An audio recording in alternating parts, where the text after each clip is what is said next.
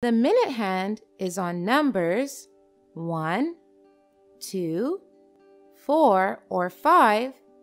We tell time by minutes past the hour. See the example. Minute hand is at 1. So count by fives from 12 to get the minutes. See the figure? It is 5 minutes past the hour. But 5 minutes past which hour? Let's try to figure out. First, see the hour hand. It is pointing between 3 and 4. But it is closer to 3, so it's 5 minutes past 3. See the figure? Here, minute hand is at 1, so it's 5 minutes past 3 o'clock.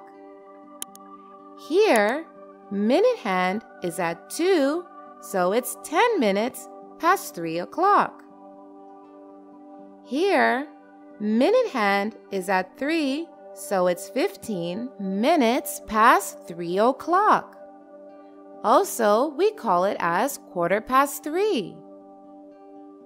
Here, minute hand is at 4, so it's 20 minutes past 3 o'clock. Here, minute hand is at 5, so it's 25 minutes past 3 o'clock.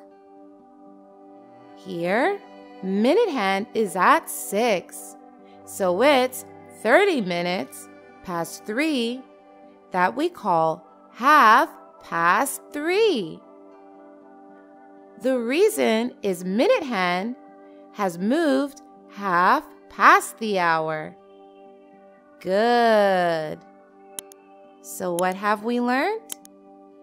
We have learned when the minute hand is on numbers 1, 2, 4, or 5, we tell time by minutes past the hour.